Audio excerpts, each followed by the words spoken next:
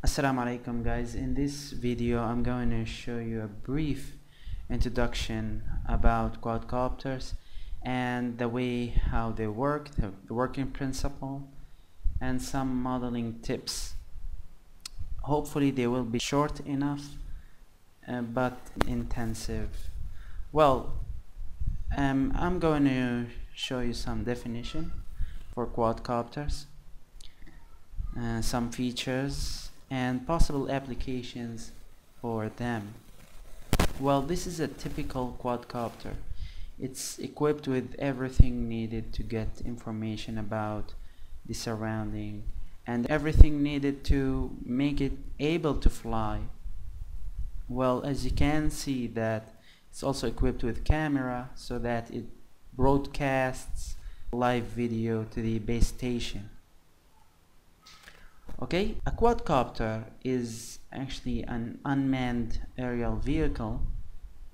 Uh, despite the emergence of some quadcopters where man has ridden them. Well they also have four equally spaced rotors for producing the thrust or the lifting force. They are also equipped with sensors which are responsible for giving important information about the quadcopter itself, its conditions, and also about the uh, surrounding environment around it. These sensors include the gyroscope, accelerometer, magnetometer, and some other sensors. They are typically controlled by a radio remote controller from the ground station. Some of the features that distinguish the quadcopters from their counterpart, like the normal traditional helicopters, is that quadcopters don't need mechanical linkages to vary the blade pitch angle for changing the orientation and the translation. Any orientation can be achieved by changing the speed of the rotors, the four rotors I mean. Another feature is that their design is simple and their maintenance is also simple. They can be assembled easily and the parts are uh, widely available with affordable prices. Since there are four, uh, four rotors for the quadcopter, then the propellers are normally smaller in diameter and that means that the, the rotors themselves do not need to have a high kinetic energy. Okay? They're also safe and that means less danger is there. So there's less damage to to themselves and their surroundings.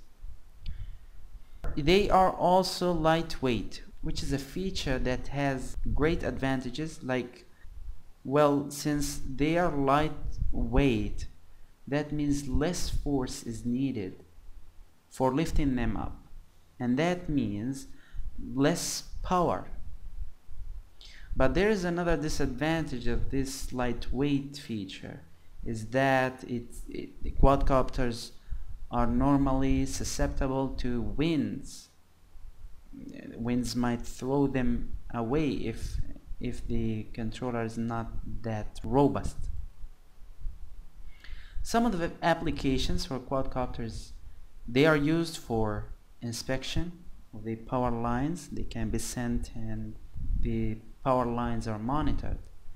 They are also used for security and law enforcement surveillance.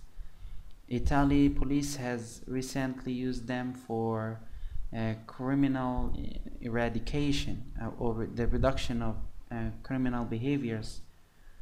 It's great actually. They are also used for military to locate an enemy. And some companies have used them for their delivery services.